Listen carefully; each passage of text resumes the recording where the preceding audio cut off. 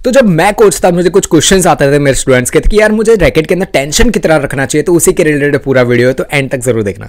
अगर आप एक बिगिनर बैडमिंटन प्लेयर हो तो 18 से 20 एलबीएस का टेंशन बहुत है आपके लिए। पहले आप सीख लो कि बैडमिंटन कैसे आपको कंट्रोल करना है, सारी चीज़ें बिगिनर्स के लिए बेस्ट रहता है। देन कैजुअल बैडमिंटन प्लेयर्स होते हैं जो क्लब में खेल रहे हैं या फिर इंटरमीडिएट प्लेयर्स आप बोल सकते हो कि उतना ज़्यादा भी नहीं आता है बट उतना कम भी नहीं आता है तो उनके लिए 20 to 23 three L B S best रहता है और 24 तक भी जा सकते हो आप। 25 26 के ऊपर के जितने भी टेंशन वाले रैकेट्स होते हैं मतलब अब अगर आप करवा रहे हो तो आपको ये चीज़ पता होनी चाहिए कि वो टेंशन पे जब आप जाते हो तो आपके स्वीट स्पॉट्स कम हो जाते हैं। मतलब ये है मेरा कि आप कंट्रोल उतना ईजी तरीके से नहीं कर पाओगे। आप अगर आप एडवांस प्लेयर नहीं हो इंटरमीडिएट एडवांस प्लेयर इंटरमीडिएट और एडवांस में यही डिफरेंस होता है कि एडवांस प्लेयर वो स्वीट स्पॉट कम होता है ना, फिर भी वो सारी जगह होती है ना उसको कवर अप कर लेते हैं। तो 25 टू 26 से ऊपर के जितने भी होते हैं, वो एडवांस प्लेयर यूज़ करते हैं। Follow subscribe